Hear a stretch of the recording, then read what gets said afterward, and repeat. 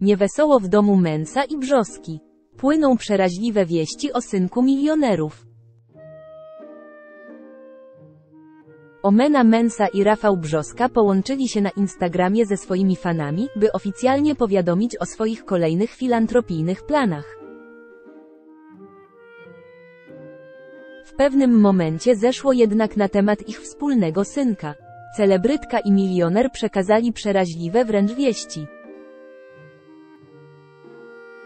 Mało kto chyba zdawał sobie sprawę z tego, co go spotyka. Omena Mensa zaczynała swoją medialną karierę lata temu. Potem długo nie chciała wracać do tego pamięcią, dopiero w programie Andrzeja Sołtysika Bagaż Osobisty oznajmiła, że nie wstydzi się programu, w którym rozgogolona występowała w wannie. Widz wie, od czego zaczynałam, ale najważniejsze jest to, gdzie teraz jestem. Robi się z tego wielkie halo. Wtedy to było coś, żeby tak zaczynać.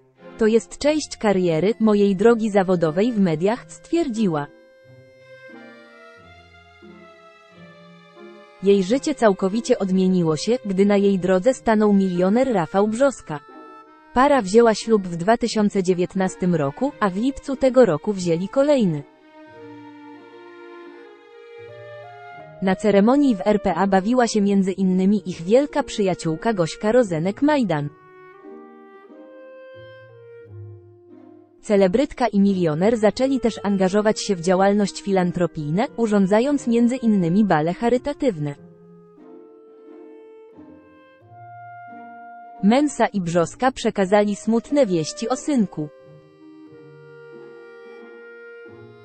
12 listopada małżonkowie zorganizowali live na Instagramie, aby opowiedzieć swym wielbicielom o kolejnych filantropijnych planach. Niedawno zostali wszak odznaczeni przez prezydenta, więc musiało im to dodać sił do dalszych działań.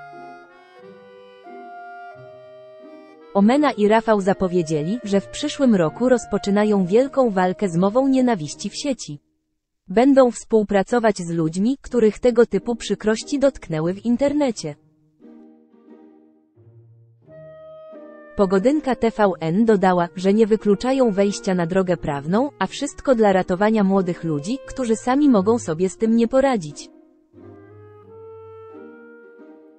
Wtedy też zdobyli się na niezwykle szczere wyznanie dotyczące ich pięcioletniego synka. Wyznała, z czym chłopiec musi się mierzyć w szkole. Sama wiem, jak nasz synem przychodzi czasem z takim dziwnym kłopotem. Zaczęła opowiadać celebrytka, po czym przerwał jej ukochany. Niedziwnym kłopotem, tylko koledzy się śmieją, że ma długie włosy. Kręcone włosy po omens, dodał Brzoska. Mensa zapowiada walkę. Omena przyznała, że to dla niej bardzo trudne, gdy słyszy od synka takie rzeczy. Wracają wówczas i do niej wspomnienia z przeszłości, bo jej też nie było lekko w Polsce. Ile razy słyszałam na swój temat takie obelgi, że normalna kobieta pewnie przez cztery tygodnie nie wychodziła z domu po czymś takim, wyjawiła. Na koniec zaapelowali do ludzi, by ci zastanowili się, zanim cokolwiek szyderczo skomentują w sieci. W przyszłym roku mogą już zająć się nimi ich prawnicy.